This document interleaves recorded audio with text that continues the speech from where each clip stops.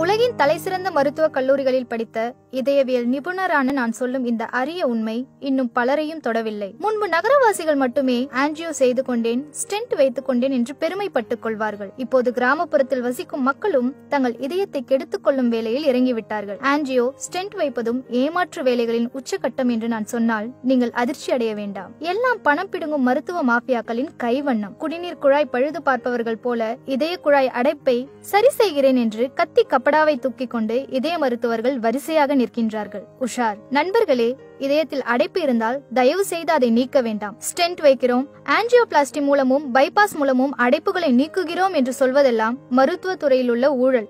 நம் உடலே ஒரு நல்ல மருத்துவர் என்று மீண்டும் மீண்டும் சொல்லி வருகிறேன். ஓர் இடத்தில் இதய அடைப்பு ஏற்பட்டால் வேறு பாதையில் ரத்தம் செல்ல இயற்கை ஏற்பாடு செய்துவிடும். இது இயற்கை நமக்கு கொடுத்த வரம். இதயம் வலிக்கிறது என்று வருந்தி வருபவர்களுக்கு மருந்துகளை விடவும் நற்சொற்கள் நன்றாக வேலை செய்யும். இதை ஆய்வு மூலம் கண்டுபிடித்துள்ளார்கள். சயின்ஸ் டிரான்ஸ்லேஷனல் மெடிசன் என்ற மருத்துவ இதழில் இது சம்பந்தமான கட்டுரை வெளிவந்துள்ளது. இந்த ஆய்வை செய்தவர்கள் ஆக்ஸ்போர்ட் கேம்பிரிட்ஜ் உள்ளிட்ட புகழ்பெற்ற பல்கலைக்கழகங்களை சேர்ந்த மருத்துவ விஞ்ஞானிகள் தான் முப்பது இதய நோயாளிகளை தேர்வு செய்தார்கள். அவர்களிடம் சக்தி வாய்ந்த வலி நிவாரணியான மார்பின் விட சிறந்த மருந்து உங்களுக்கு மருந்தாக கொடுக்கப்பட்டுள்ளது. இதனால் நீங்கள் விரைவில் குணமடைவீர்கள் என்று மீண்டும் மீண்டும் மருத்துவர்கள் சொல்லியுள்ளார்கள். சில நாட்களில் இந்த நோயாளிகளின் உடல் நலனில் சிறந்த மாற்றம் கிடைத்தது. முன்பை விட இப்போது நலமாக இருப்பதாக நோயாளிகளும் மகிழ்ச்சியாக சொல்லியிருக்கிறார்கள். உண்மையில் அந்த முப்பது நோயாளிகளுக்கும் கொடுக்கப்பட்டது வலி நிவாரணி மருந்து அல்ல. வெறும் வைட்டமின் மாத்திரைகள் தான். மருந்தை விட மருத்துவர் சொல்லும் வார்த்தைகள் குணமாக்கும் என்பது ஆய்வு ரீதியாக நிரூபணம் செய்யப்பட்டது. இதை மருந்து போலி நிகழ்வு என்கிறார்கள். இது போலவே